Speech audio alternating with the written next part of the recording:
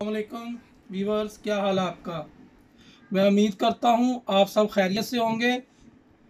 Viewers जो recipe वगैरह मैं आपको बना कर दिखाता हूँ, जो चीज़ भी बनाता हूँ, वो सादा होती है। और सादा से मरा ये है कि हम लोग इधर पाकिस्तान में रहते हैं। हमारे पास वो जदीद किस्म के ओवन वगैरह या वो चीज़ें नहीं होती। इसलिए मैं आपको ज़्यादा चूल्हे पर बनाकर दिखाता हूँ ताकि आप लोग हर घर वाला आसानी से उसको बना सके। जिसके पास ओवन नहीं भी है तो वो भी बना सके। आज जो रेसिपी हम आपको बनाकर दिखा रहे हैं फ्रूट केक बनाने का तरीका आपको बताएँगे कि फ्रूट केक कैसे बनता है। और आप इसको बहुत आसानी से बना सकते हैं।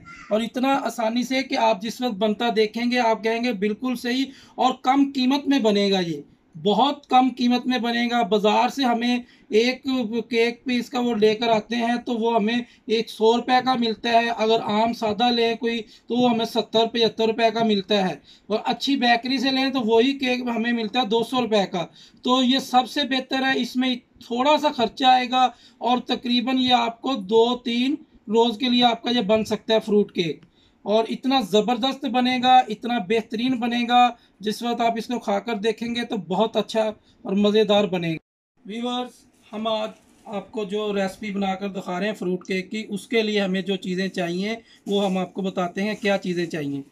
वीवर सबसे पहले आपने डेढ़ डेढ़ कप ये लेना है अपने मैदा और एक कप आपने लेना है चीनी पीसी हुई। इसको ग्राइंड कर लेना, खुद ही कर लें और इसको पीसी हुई चीनी को एक कप। और तीन एग लेने आपने।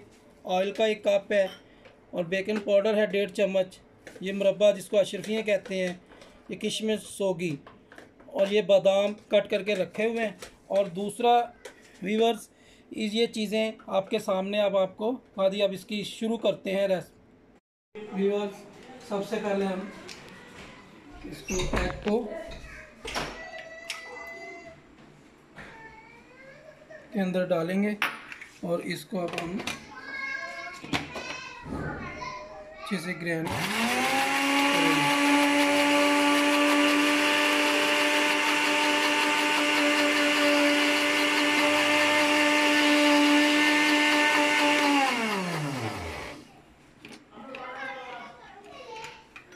उसके बाद इसके अंदर हम जो चीनी पीसी हुई हमने रखी हुई थी, वो चीनी डालेंगे।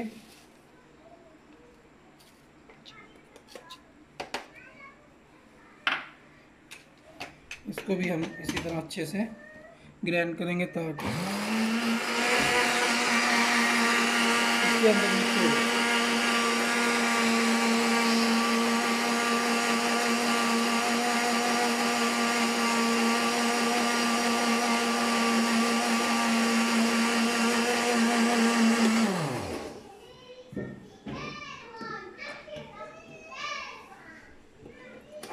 अभी अच्छे से चीनी अभी नहीं हुई तो दोबारा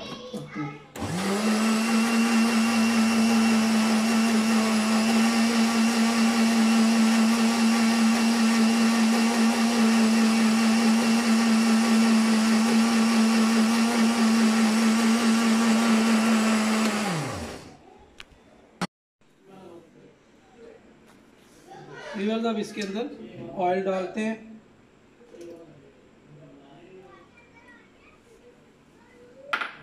ऑयल डाल दिया अब इसको दोबारा।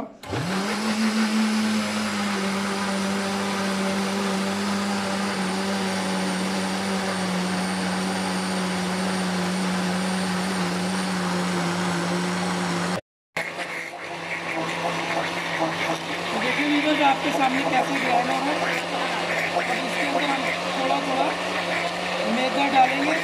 मैदा ऐसी मशीन में आपने डालना ताकि हल होता जाए।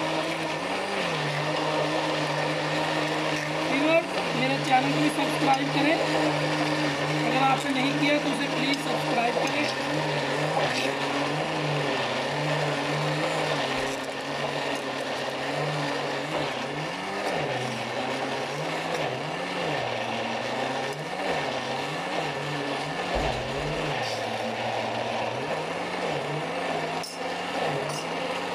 देखिए कितना गाढ़ा हो गया आपकी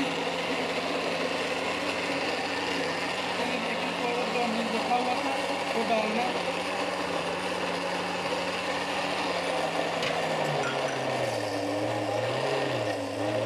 तो ये ग्रैंड हो चुका है, अब इसको इस बॉल में डालते हैं। इसमें थोड़ा सा अपना ऑयल लगा लेना ताकि वो साथ उसके इसको बन जाए तो आसानी से निकल जाए। वीवर्स हमने उसमें से निकाल लिया। है अब इसके अंदर जो किशमिश है, वो डाल देनी है। किशमिश डालने के बाद जो अशरफियाँ जिसको कहते हैं, रुबा, वो इसके अंदर डाल देना है। अब इसको आपने मिक्स कर लेना आहिस्ता आहिस्ता, ताकि उसके अंदर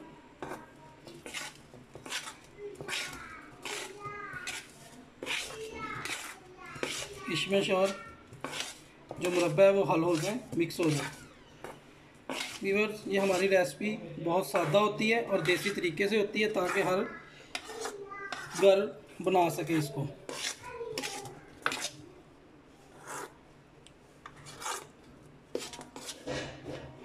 ये थोड़ा सा ये बादाम कट किए हुए वो भी इसके अंदर डाल देने इसको भी ऐसे ही हल कर देना हमने इसके अंदर बोल के अंदर रख लिया मुकम्मल तैयार करके। अब इसको प्रेशर कुकर अगर आपके पास प्रेशर कुकर नहीं है तो आप इसके अंदर अपने किसी भी चीज़, पतीला वगैरह में भी इसी तरह रख सकते हैं। पतीले में एक प्लेट रखें उसके अंदर और नीचे उसको चूल्हे की आग उसके नीचे जला दें आप। तो अब इसके अंदर हम इसको रखते हैं। इसका बैलेंस करके इसको अपने रख देना है। ठीक है? उसके बाद इसको अब अपने टाँप देना और हम आप आपको 25 मिनट बाद दोबारा मिलते हैं 25 मिनट बाद। 25 मिनट गुजर चुके हैं। अब इसको देखते हैं कि कच्चा है या पक्का। बन गया है तो देखते हैं। अब देखें इसको देखते हैं। ये स्टिक आपने लेनी है। इस स्टिक से हम इसको देखते हैं। नहीं, अभी नहीं बना, अभी हमें कुछ देर के लिए दोबारा इसको इसी तरह ही रखना पड़ेगा।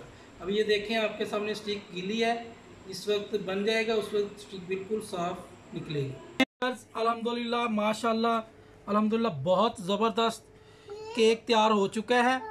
अब इसको हम खाकर देखते हैं कि कैसा बना है।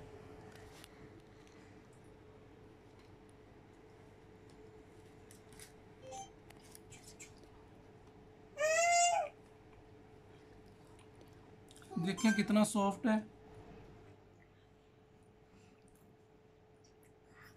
अल्हम्दुलिल्लाह, माशाल्लाह, बहुत ज़बरदस्त बना है, बहुत ज़बरदस्त टेस्टी बना है। व्यूवर्स आप भी इसी तरह घर में केक तैयार करें और अपने बच्चों को खिलाएँ और ख़ुद भी खाएँ और सबके लिए दुआ भी करें। अल्लाह ताला आप सबको अपने हिफ्ज़ मान में रखे और अल्लाह पाक हम पर भी अपनी रहमत और करम और फजल करे और मेरी वीडियोस को व्यूअर्स देखा करें। और अगर आपने मेरा चैनल सब्सक्राइब नहीं किया तो प्लीज़ उसको सब्सक्राइब भी कर लें, लाइक भी करें और शेयर भी करें। ठीक है? अल्लाह ताला आपकी हिफाजत फरमाए। अल्लाह हाफिज़। शुक्रिया।